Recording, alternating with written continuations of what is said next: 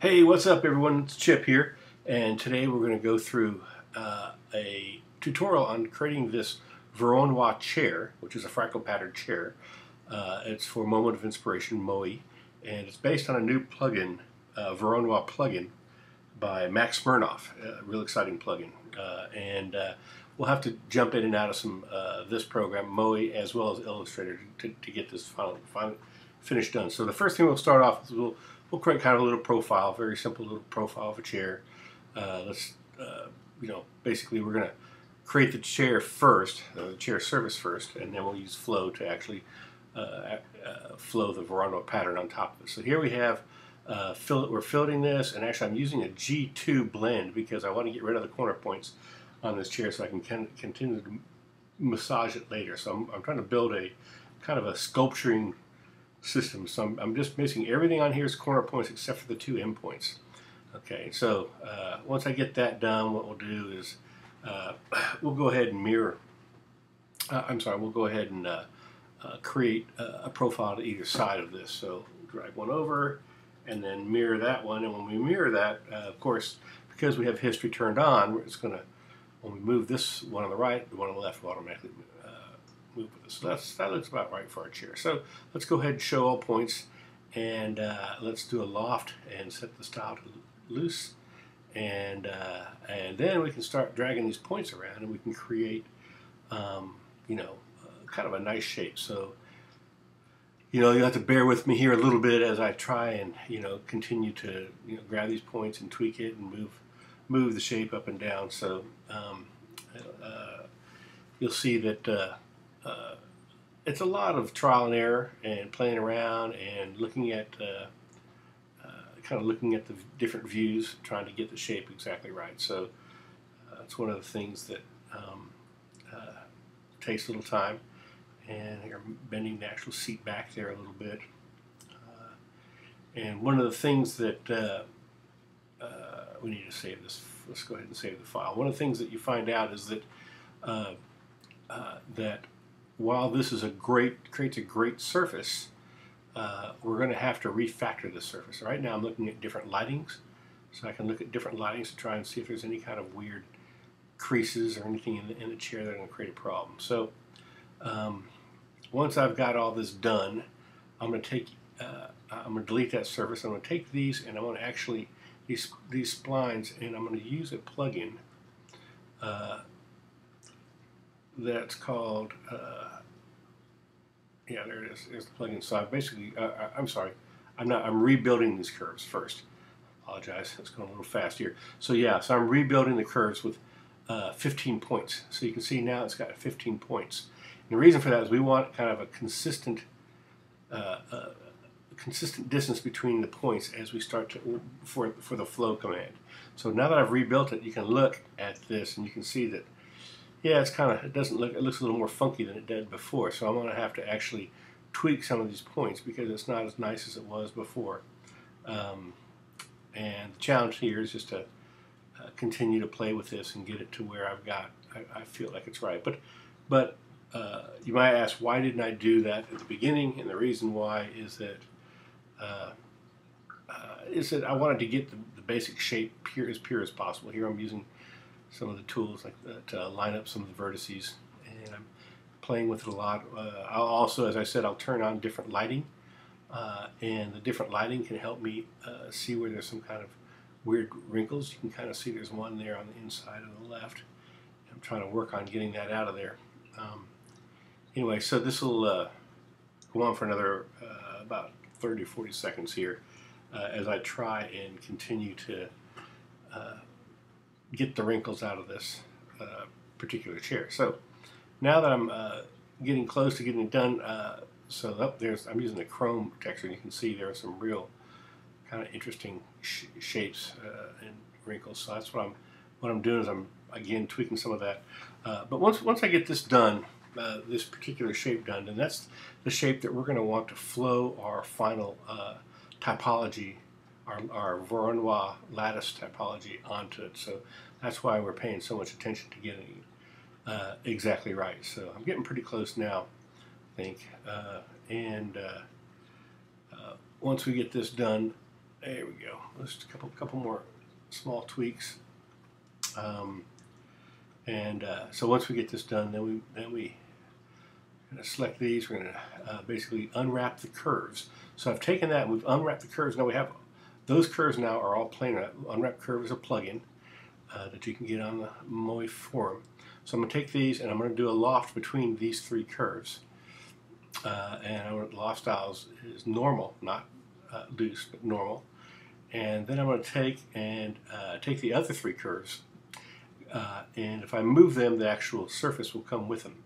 So uh, actually, no, that's not really what I want to do. I want to actually let's leave those in, in the middle because I know for a fact that we're going to end up uh, using the Voronoi plugin and it's going to be referencing that size. So let's go ahead and select these curves for the chair.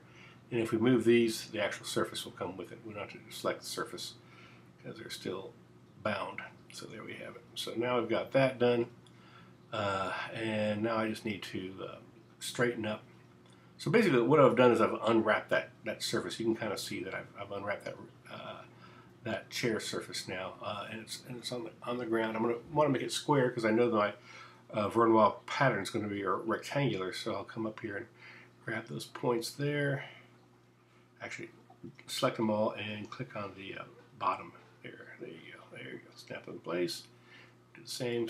Click on top. Snap in place. Oops. There we go.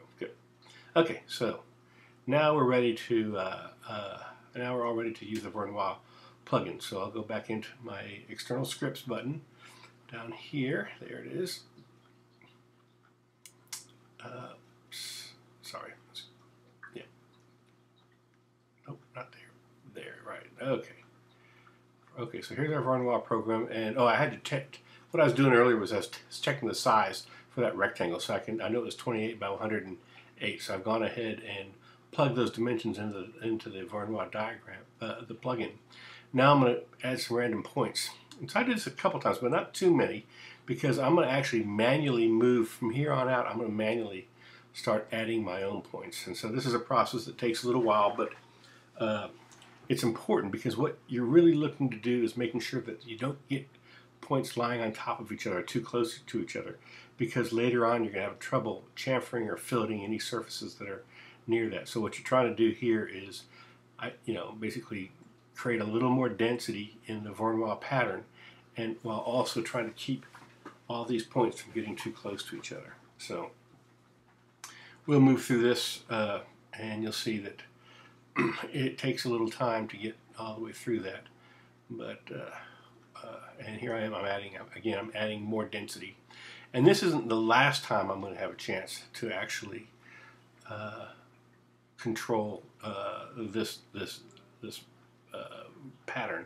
But it's really a good time now to try and get it right. So it's worth taking your time in here and trying to make sure that you get, you know, get close. What I'm doing right now is I'm kind of looking for, I'm looking for things that are too close to each other, and I'm also looking for uh, uh, some bigger areas that need to be subdivided because if I don't, if I too big areas, it's just going to look kind of weird, I think. So I'm just continuing to do that. I want to make sure my corners are good because corners are where the eye ends up landing when you're looking at something. So I want to make sure that the, the corners are, are decent uh, pieces, decent uh, Voronoi fractal pieces. I can already see I've got a couple points here that are uh, that I still need to fix, but but we'll have a chance to fix those later. So we're getting pretty close to um, to finishing uh, this part of it.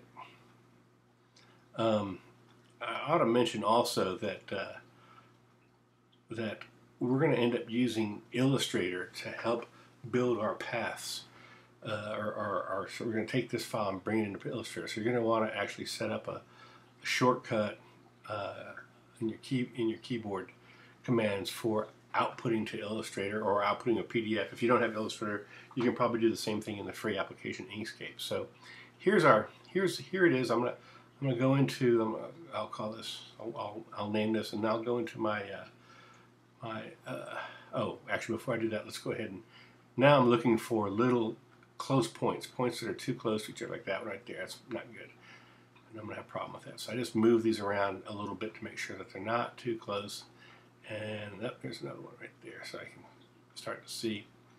Um, there, here we go. Yeah, start to see if I can just get these a little bit. Uh, I was gonna I, actually. This is interesting. I put one in here, and I thought that'd be good. But then I started looking at it. It doesn't look right, does it? So I just deleted it. I, leave, I left it out. I, uh, you can't really create your own Voronoi. It turns out there's got to be uh, there's there's a, there's a rhyme to the reason. So here I'm again doing the same thing. Gonna gonna delete one, and I really came to the conclusion that no, I'm better off just just uh, maintain just moving the, the, the, points around. So we're getting pretty close now. We've got a, we're, I'm kind of walking through this whole thing, trying to make sure that uh, I've got it all covered. And looks like I do. I've got every, all the points where I want to. So now I just select all, and I'm going my Options key, and you'll look and see this this uh, Command Shift I. I've got it set at uh, or Shift Command I. Right is that's that's the actual script. So I've done that. Command Shift I. Uh, projection views the top view. Scales fit the page. Say OK. And I'm to switch to Illustrator. And here I am just dragging the file up in Illustrator and the first thing I do is I select everything and I'm to just start jacking with the point size of the strokes. These are lines, so I'm just making those lines thicker.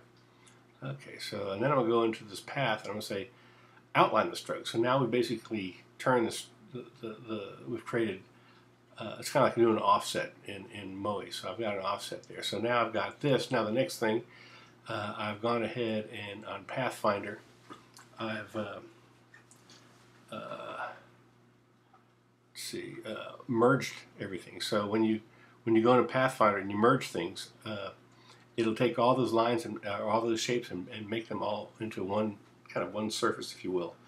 Uh, so this is this is ungrouped.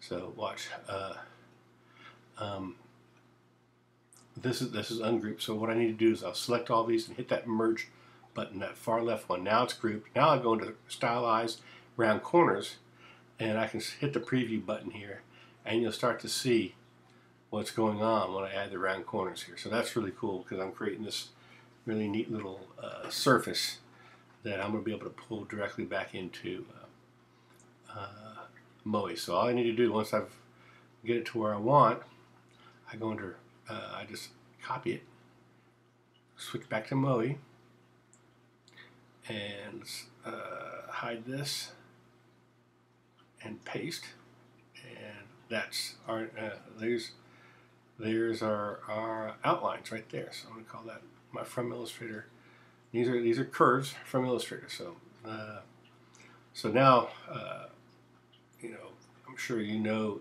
that uh, uh, next thing to do is just to basically size this so it matches that that plane uh, the, the plane that we, we created from the chair profile. So I'm going to just move this to the corner there. And I'm going to take this and move it up. Here it is. And take this and move it up. And then I'm going to uh, have to, uh, I was going to, no, I want to make it a little bit smaller so it'll be easy for me to, you know, so, so it goes just a little bit inside of this path. But it turns out uh, I got that exactly right. Now I've got my path. Now I'm just going to extrude it. I'm going to extrude it one. So now you'll see that I'll hide that.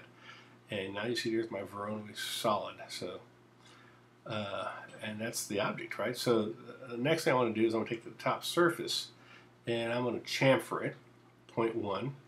And you know, it doesn't get the whole thing. Kind of weird, but it doesn't. So I didn't get the outside. But I'm going to take the outside. I'm going to make it, fillet it uh, at uh, 0.15 and then I have to do the bottom one also fill up that at 0.15 and now I'm really going to have to walk through and uh, actually let's get the bottom uh, chamfered correctly. There it is.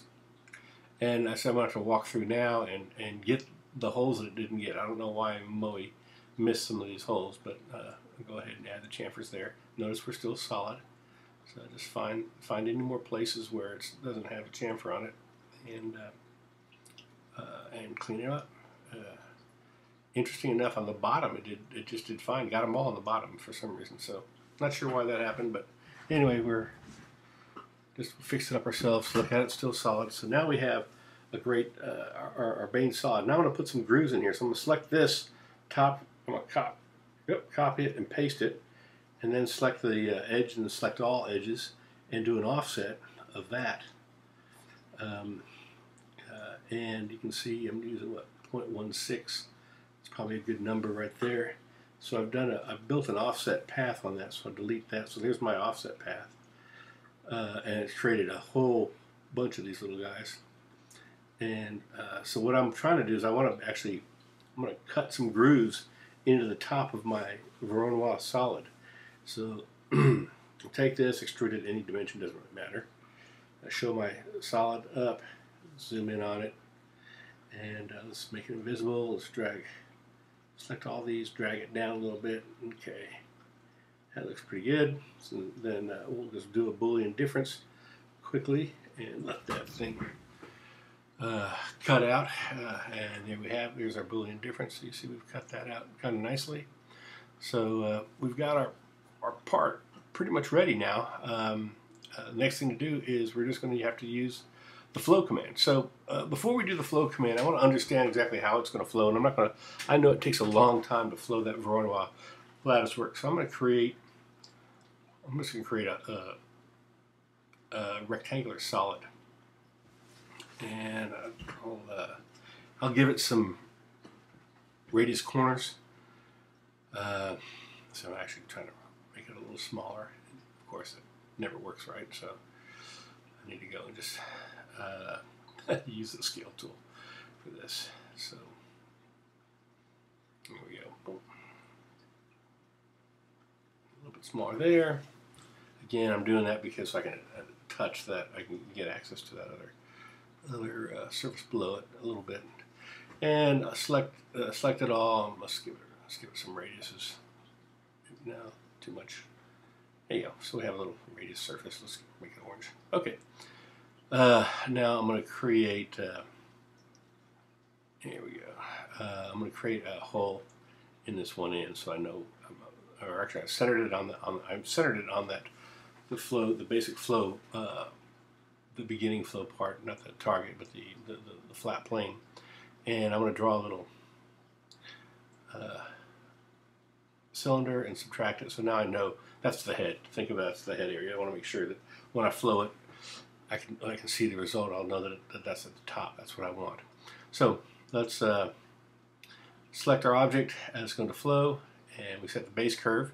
So we're going to set on the, the top left of that, more on the left than on the top, and then boom, you can see it flowed really fast, and it's exactly, exactly what we want. So let's clear that out, and show my lattice work now, and uh, what we'll do now is, again, exactly the same thing. We select the, the lattice work, the Broadwell lattice work.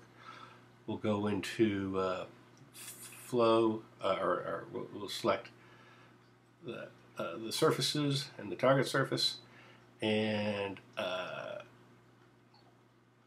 and we'll let it render. This took 45 seconds in, uh, in real time, so that's about how long it took to get that done. And let's name our chair, and let's hide everything else, and show the chair. And really, uh, as you can see, that's uh, pretty nifty. Uh, and it's uh, not only nifty, but it's a solid. That means it'll 3D print, and uh, it's I can look at it in some different materials. That's an aluminum kind of aluminum material. Uh, I've turned the wires off, uh, but uh, anyway, yeah, Max, great job on this on this tool. I really like it. Uh, let's look at uh, Chrome. see, there's there's that's what we're going to render it as Chrome anyway. So, hope you enjoy. Uh, hope you enjoyed the tutorial, and and you know you can find all these plugins, of course, on the forum uh, out at MoI. So uh, thanks for watching and have a great day. See you.